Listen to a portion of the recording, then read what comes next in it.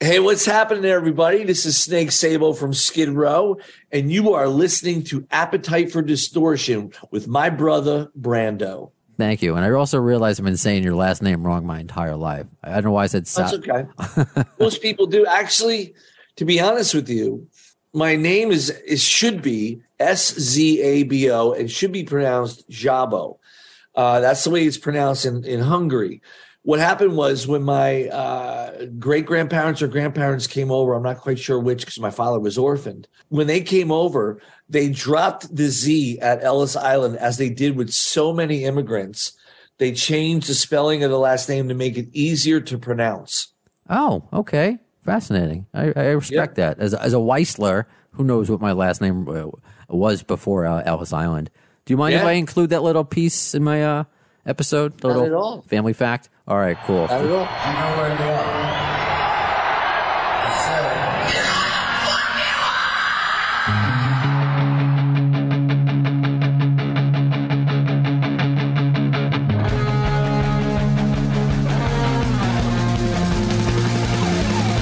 This is Appetite for Distortion.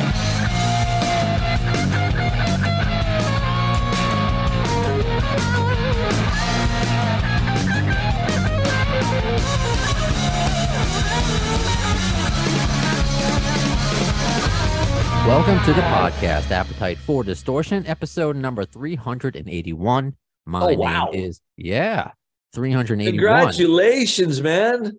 Thank you very much. I should have looked up to see what episode Rachel Bolan was. It wasn't that long ago, but he's, I mean, it took a while. I wanted to get you guys on. I think I wanted to, I mean, keep going until I get the, uh, all the current Skid Row on the, uh, on the podcast. Oh, that's cool, dude. Well, thanks for wanting us on and wanting to talk to us. It's awesome.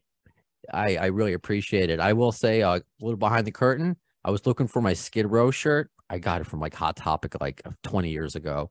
Couldn't find it. Couldn't find it. But since you're a Jersey guy, I got Jersey Jack pinball shirt. That place is awesome. I was lucky enough to I didn't go to the Jersey location. I went to the Chicago location. I'm already going off on a tangent. Uh, my wife is from there, and I got to visit the location where they, you know, they make the meat and the guts, so to speak, of, the, of all the pinball machines, and that's pretty cool. That's very cool. By the way, do you have one in your house? I always said if I was like a big rock star, I would have like pinball machines like Slash.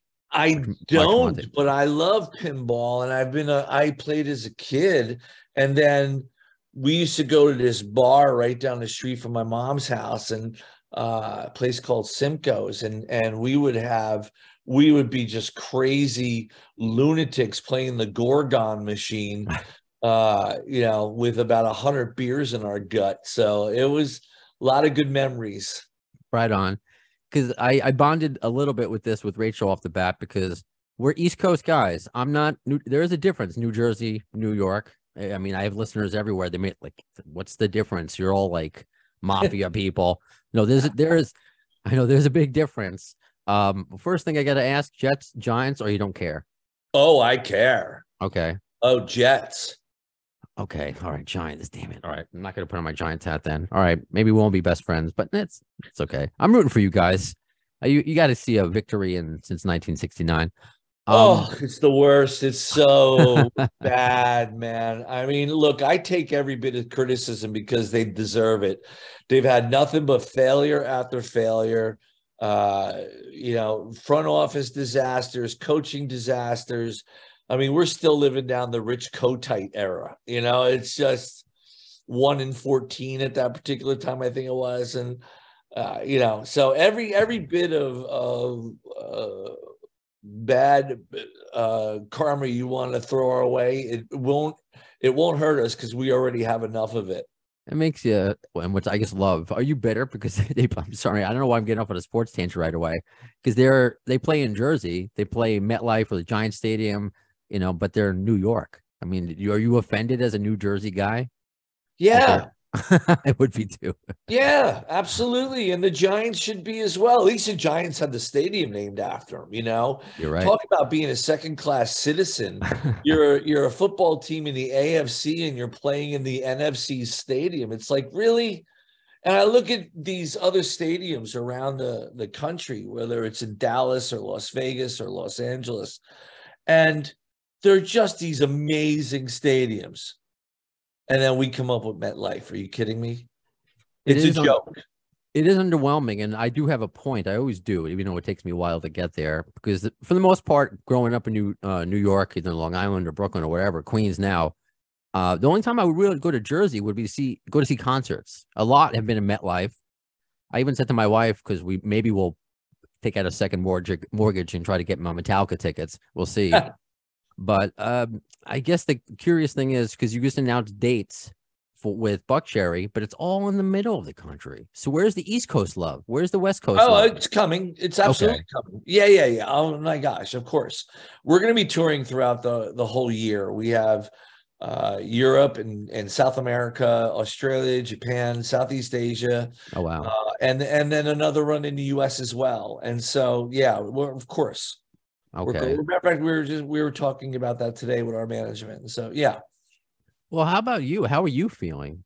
I guess if you don't mind me asking, because I know you had to cancel some dates for this year, so that's why we're looking forward to to next year already. How are you? Yeah, doing? I mean, we get we had to cancel, or we actually didn't even cancel. We postponed four Australia shows. Um, I had to go get neck surgery on Tuesday, and uh, they're doing disc replacement surgery. I have got these really bad degenerative discs in my neck, and it causes uh, nerve issues down both my arms, but predominantly my left arm, to the point where uh, mostly every show my arm will freeze up.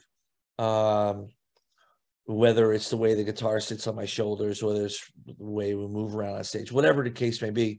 Uh, this has been something that's been going on for quite some time, nearly two decades, and uh, actually two decades. And uh, uh, it just got to the point where it it's it's so it's been chronic, but it it's just got to the point where it has to be addressed.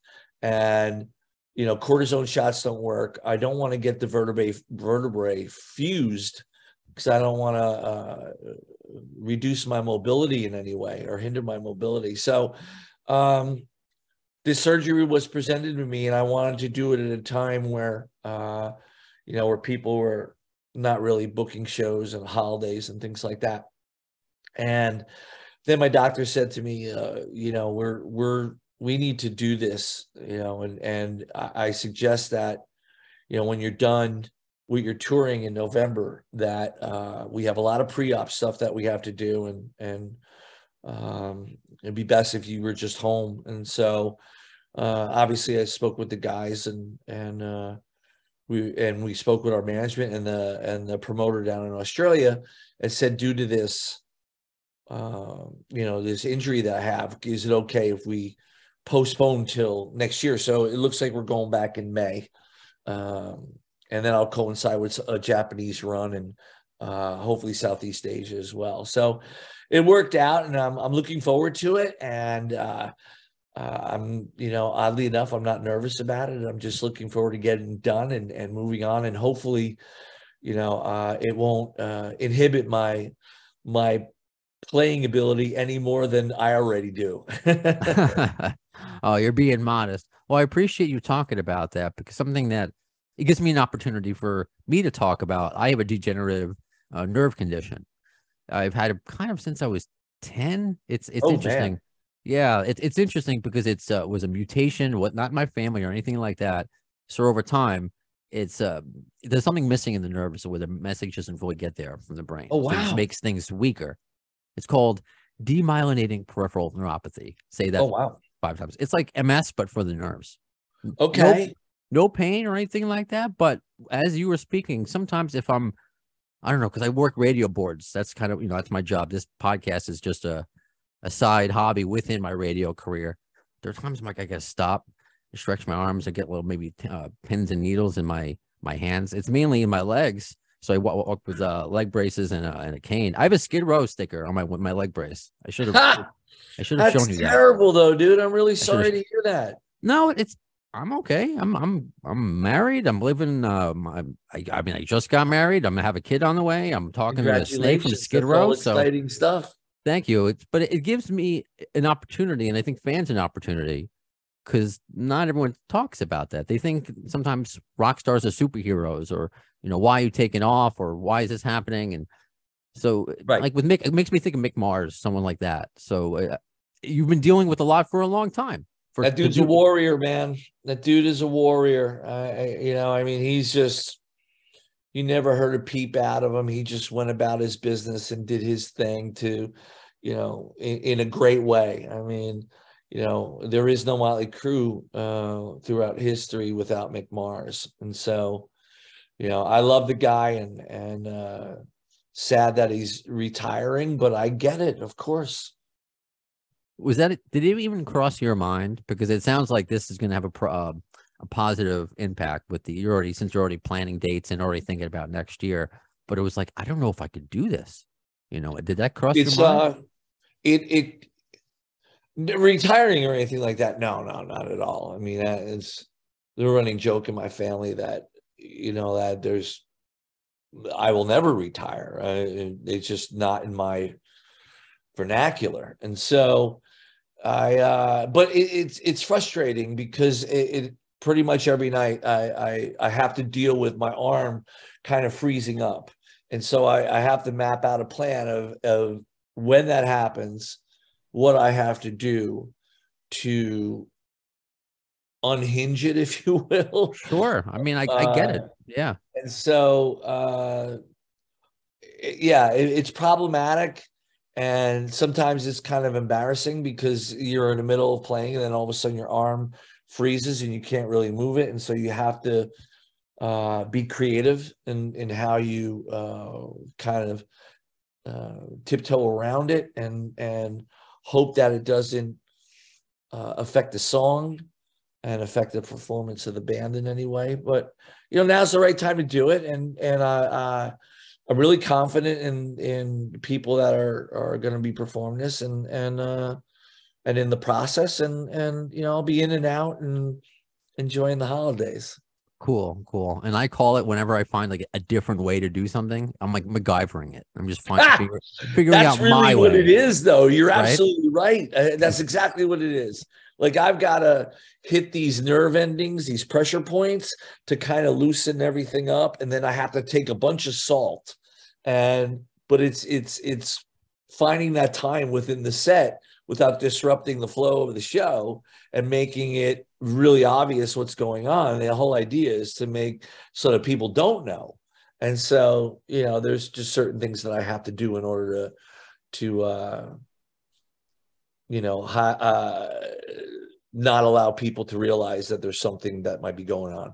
Sure. And I mean, I've just learned, I mean, I don't need to tell you, you're older than me, if you don't mind me saying, but sometimes with the embarrassment, like you just gotta be like, you know what? I'm not embarrassed. This is, it is what it is. If someone looks at me differently, that's on them.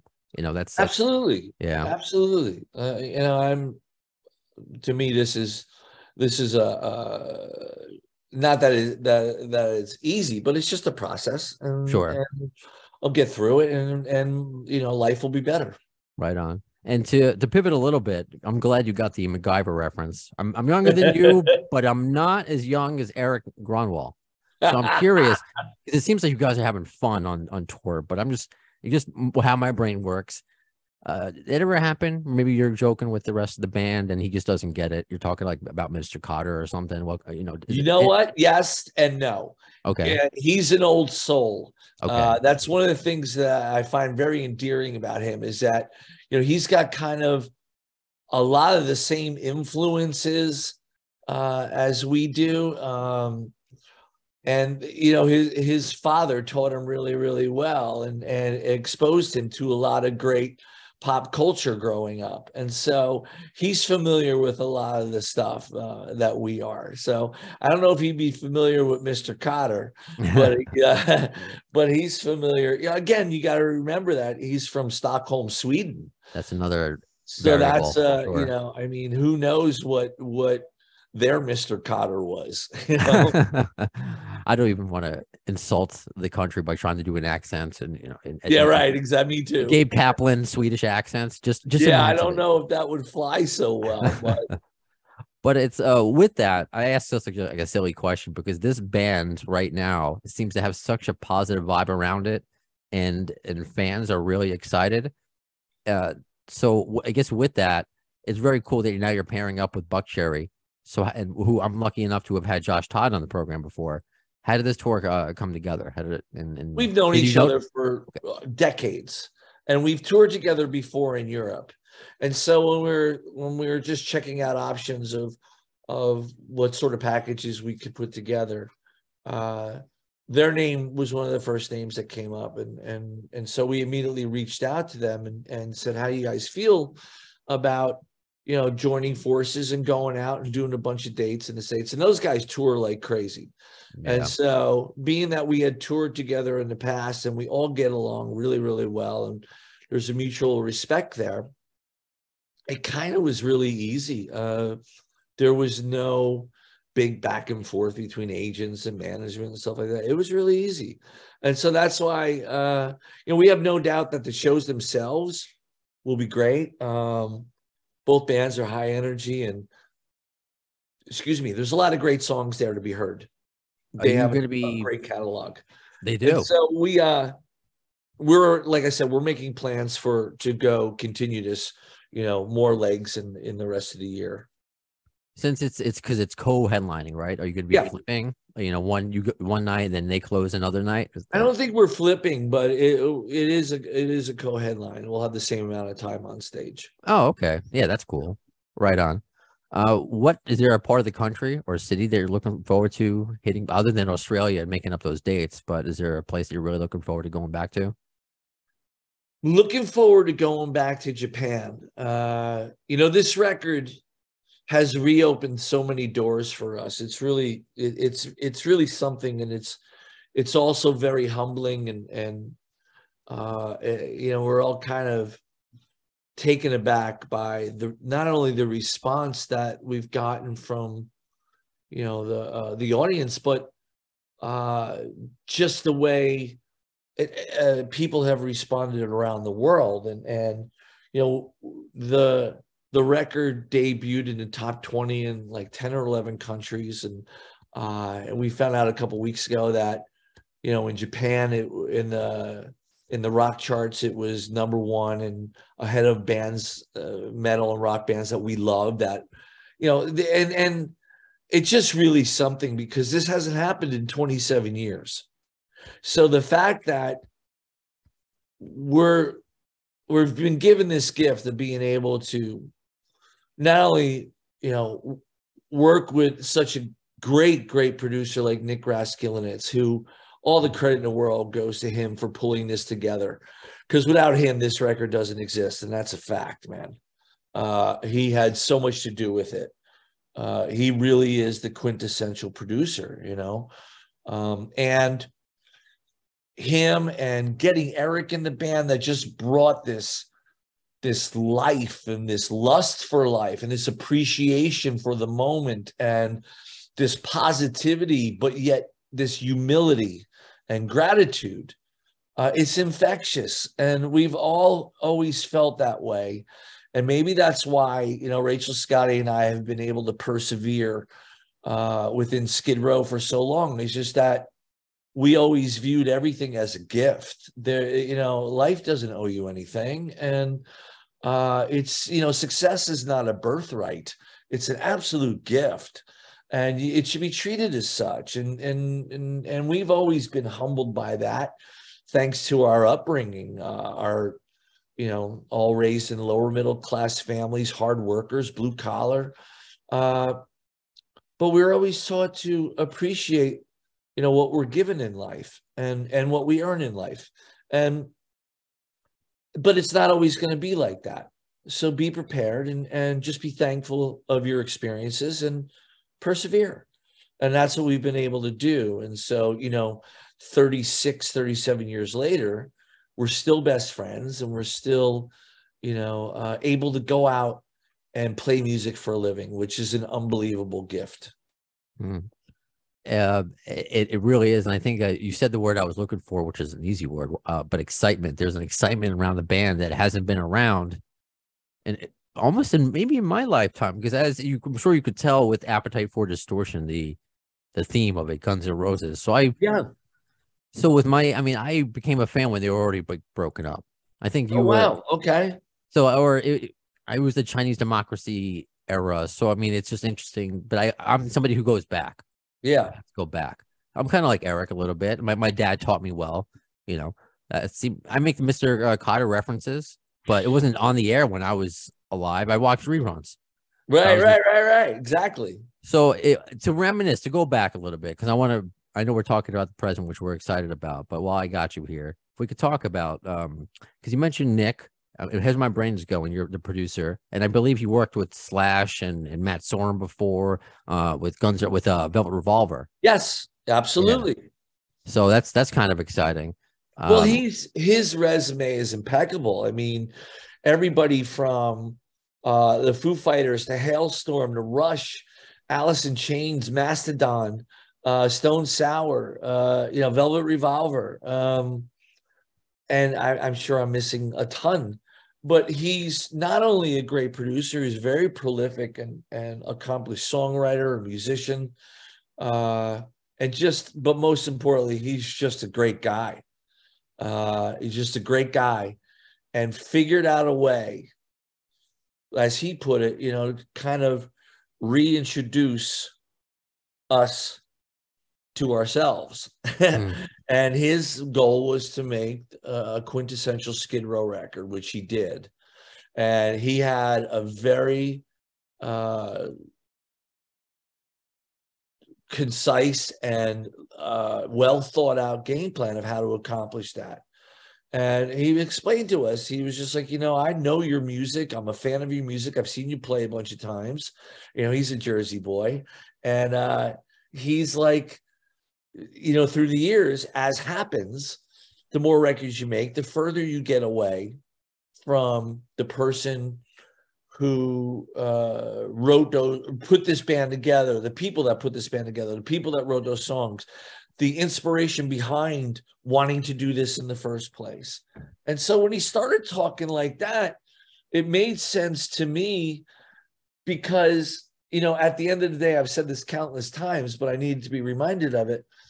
Um, I'm I'm still that 16 year old kid at my mom's house in my bedroom with an Ibanez Iceman strapped on my shoulder, pretending I'm Paul Stanley or Ace Frehley or, you know, Iron Maiden or you know Black Sabbath, or whomever, Eddie Van Halen, Randy Rhoads, and that spirit and that fire never dissipates. It's always there, and it's kind of like you know the the onion thing where you know life adds layers, but Mm. if you peel that away, that is still burning. And once that window to that uh, fire opened up again, it, it, it made perfect sense. Uh, uh, we relinquished ourselves to Nick because his idea was he wanted to deconstruct and rebuild every song. And so uh, you have to have immense trust in a person in order to allow them to do that to your creations and we did we we we all agreed let's just what do we got to lose but in Mhm. doing so you know you have to uh you have to leave leave your ego in the parking lot. Yeah. Um, that's just the way that it is. And and in order to allow this process to occur. And so we did. And we were wide open. We're like man we're all yours. Just guide us along the way. Well, the Gangs All Here is a great record. I mean, like he, it, it shows, like it definitely shows, like his resume shows, and this is just another one on his his resume. Uh, and as I bounce around again in my head, uh, to go, I want to go flashback while I can. While I got you, uh, when I had Rachel Bolan on, he told a, a funny story how he kind of bonded almost kind of with Izzy Stradlin, which was funny because he wasn't around much. Like he spoke to Rachel more than they than Izzy spoke to the, his actual bandmates the entire that's tour. true that's true But if you don't, because I just, I'm just asking, I'm not like a, you know, a, a, a tabloid or kind of dirt situation, but that's just a funny story that came up. So do you have funny story, anything that comes to mind when you think about, you know, all those years ago touring with Guns N' Roses, anything that, that comes out? Well, I remember I played on Duff's first solo record, um, Believe in Me. And that all came out of building a relationship with Duff that I still have to this day. Um, I actually managed him for a little while as well. And I, I adore him. Uh, I think he's one of the the sweetest, humblest, strongest people I've ever met. And at that particular time, um, he was working on this solo record after their shows were over. He'd go to a studio at like one o'clock in the morning. And I, we were getting friendly and stuff. And, and I don't know whether I said, Hey man, you know, I would love to be a part of it. And I probably what would happen. And and he was like, absolutely. Come on down and, and, and play on it. I was like, this is great. And so after the shows, we would get in a car and, and go to a local studio, whether whatever city we were in. And we go in the studio and, and be there from like one in the morning to like six in the morning. And it was great. I had such a great time. I loved playing on his music and I loved being directed as far as what he was looking for and uh but it was pretty crazy because you know we were all imbibing at that time as well so there was a lot of drunkenness going on and um you know I, I i did my best to keep up and uh you know much to much to the dismay of my liver uh i was able to i was able to hold my own but uh I had I have nothing but fond memories of that that whole time. And uh, you know, one of the interesting things of that tour was I, I remember when our records both had finally come out. Like ours had come out a couple months ahead of theirs. Uh, Use Your Illusion one and two, and we I think we were in Denver, and Rachel and I went out to a club uh, Slash and and his bodyguard, and maybe a couple of the other guys were there, but we were sitting at a table with Slash and hanging out, and uh, there was a band there, a cover band, and they ended up playing uh, Monkey Business. It was the first time we had ever heard any band play Monkey Business, and it had only been out, you know, a month or two, and and I forget what Guns N' Roses song they played. Uh, oh gosh it might have been "You Could Be Mine." I'm not sure, but it, it was probably something off the off the Use Your Illusion record. But it was just really something to be a part of that moment and realize, like, you know, we had just had a number one record, and and they had number one records, and we were touring together, and it was just a great hard rock tour. Uh, and uh, I wish we could have done more shows uh, because I think from an audience perspective, uh, it was really, I think people really got their money's worth. I think both both bands were were firing on all cylinders. Um, and and and don't get me wrong. I mean, there were some nights that I would have a rough night, or or you know the band might not be uh, up to snuff, but the excitement of it was still there. The that vibe that something special was happening was there. That's uh, I appreciate. That's why I asked these stories because I was too young then. I was into the Muppet Babies, early Michael Jackson. I mean, it wasn't like I, I was born in 83. Sorry, just to, so you have a, a basis uh, to understand it. But sure. I love hearing about that because that's like the, the that tour, the Use Your Illusion tour, it's like nothing like that will ever happen again. And it's just to be a part of it. Anyone who I feel like is a part of it, and, and that's just a part of it, not even including your own history with Skid Row. It's just like wow to be a part of that. We just didn't know what was going to happen every night, and if it no. and if things went well, you were going to have probably the best rock show ever that you've ever seen. You know, yeah, but then you have a moment like St. Louis, and it's like, oh my gosh, you know, when the riot occurred. Uh, and it's so weird because I had a bad feeling that afternoon. Like we were only the second show that was in that venue.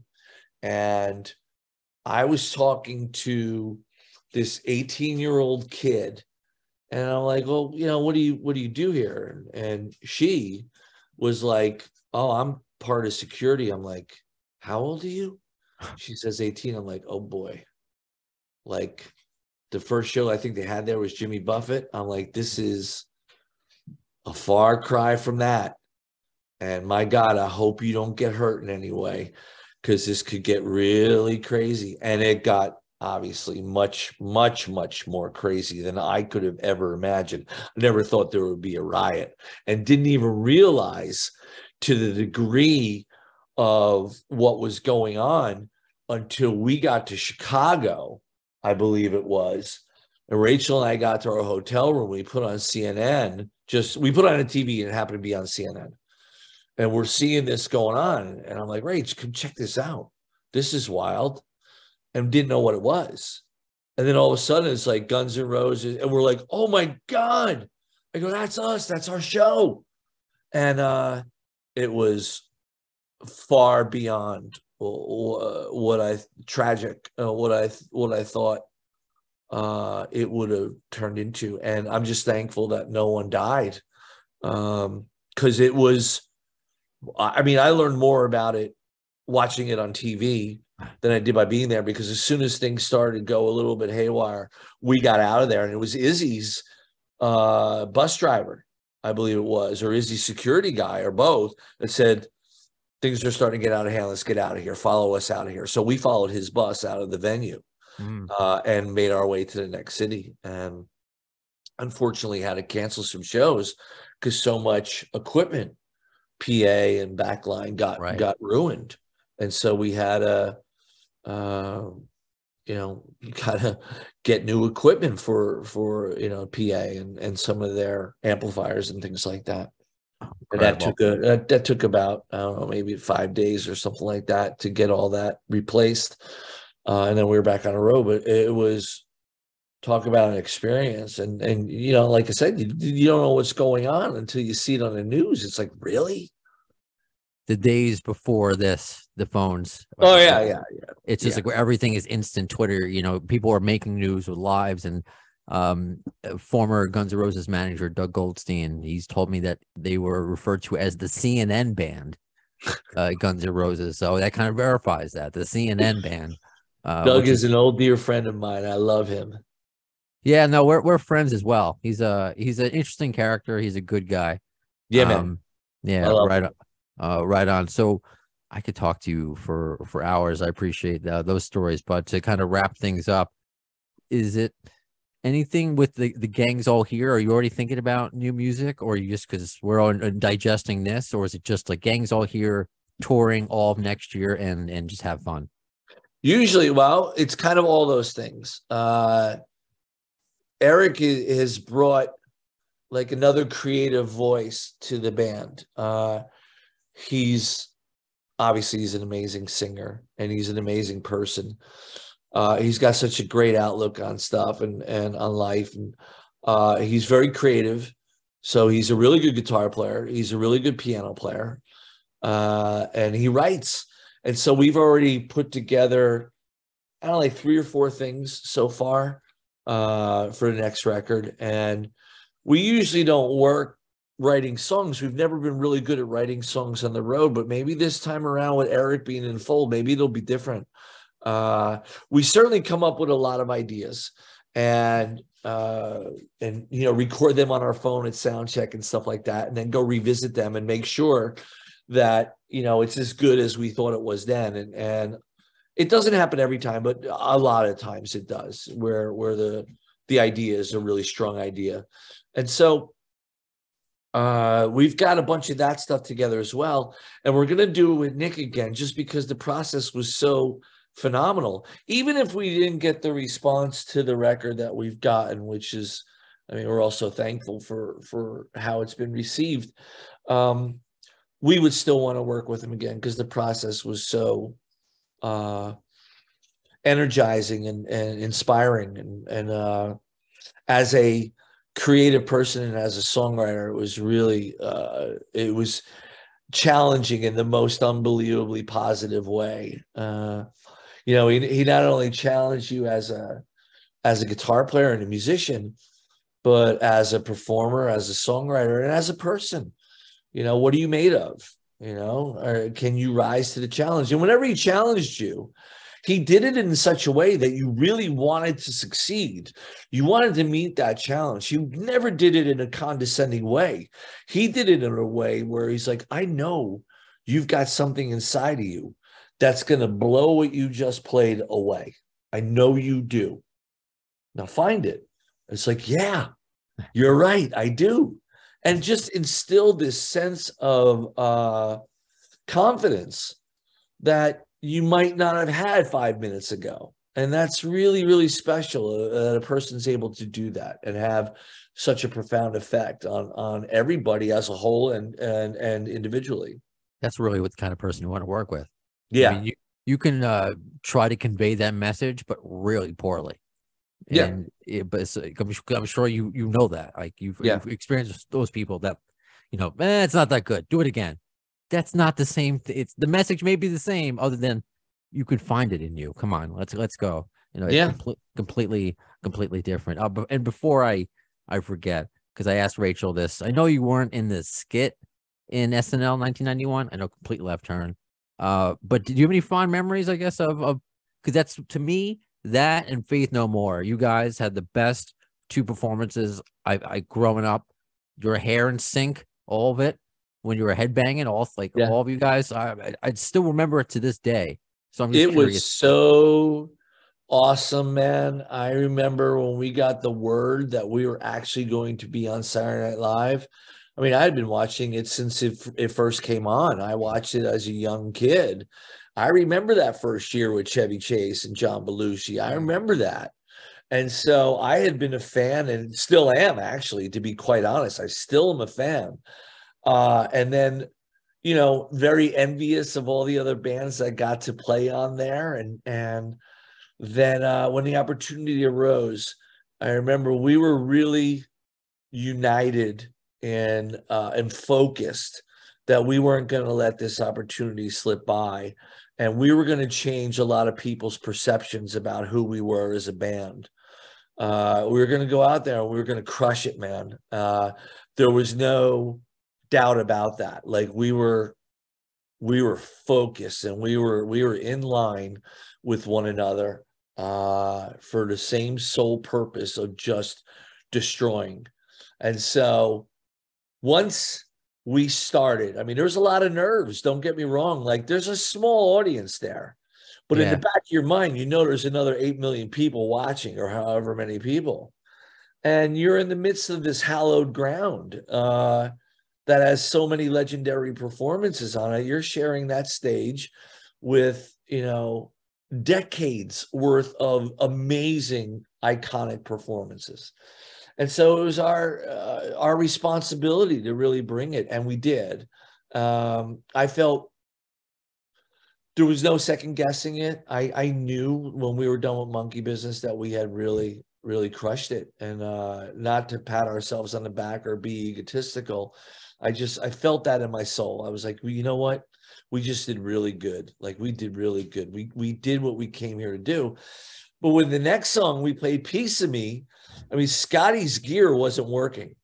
oh yeah. And it wasn't working. And it wasn't working. They're going, okay, in five, Huh. four. And I'm going, oh no. And he goes, and two. And all of a sudden Scotty's rig came on. And we're like, holy crap. so that just that added to the stress of the whole thing. But uh, I've I've seen the performance a few times after that, and uh, you know I'm so I'm so thankful that people still have high regard for it. You know, I remember a few years back the comedian Bill Burr Sure. posted something about it, and I, it's just really really cool that after all this time you still get recognized for uh, a moment in your history um, that you did a good thing. and I'm being honest. I grew up. I, I was, and I'm still. I'm not as much as a fan as I was growing up. I was the Mike Myers, Dana Carvey era, the era that you were on, Yeah. especially when it was on repeats on Comedy Central all the time. Yeah. There are very few. So I've seen a lot of acts, and very few stick with me.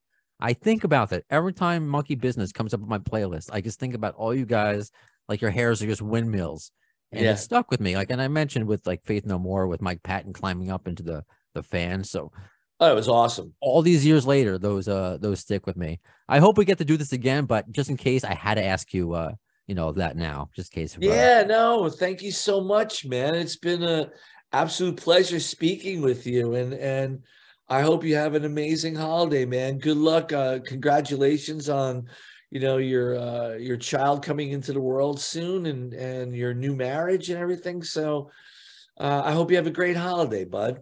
Thank you, thank you. Uh, I think Hanukkah is Monday. I'm the worst Jew ever because I always have to have a Gentile, like my wife, tell me like, "When's Hanukkah?" She, I, I owe every year. I it just I Right. know. I'm, I'm terrible. I'm, I'm a Seinfeld. To go back to a '90s reference, I'm that kind of, you know, Jewish Yeah. person. I. I get it. I totally get it. So I'm sure we'll see more tour updates and just go to skidrow.com and all the. Uh, yeah, all the the- social media platforms, Cool. the all the usual suspects, and yeah, we're uh, we're working on that second leg of the tour as we speak. Actually, Awesome. Well, thank you again, Mr. Snake, Mr. Sabo. What do you prefer, by the way, David? Snake. Everybody calls me Snake, Snake. including my wife Oh, and oh. kids. All right. Well, my wife calls me Brando, so maybe uh that, that isn't bad. Okay, Yeah. fair enough. Fair enough. That's cool. Well, uh, thank you so much, Snake. And uh, as far as the next episode of Appetite for Distortion is concerned, I'll just tell people I'm going to do a. Speaking of Australia, I guess I'm going to do an Australian review with a bunch of Aussie fans that listen to this podcast and talking about what happened in uh, Australia and, and Axl, you know, tossing a mic and hitting a woman and drones Sweet. and all this crap. Uh, that's another episode. So Never a dull uh, moment. Never a dull moment. So stay tuned for that. When will you see it? In the words of Axl Rose concerning Chinese Democracy, I don't know if soon is the word, but you'll see it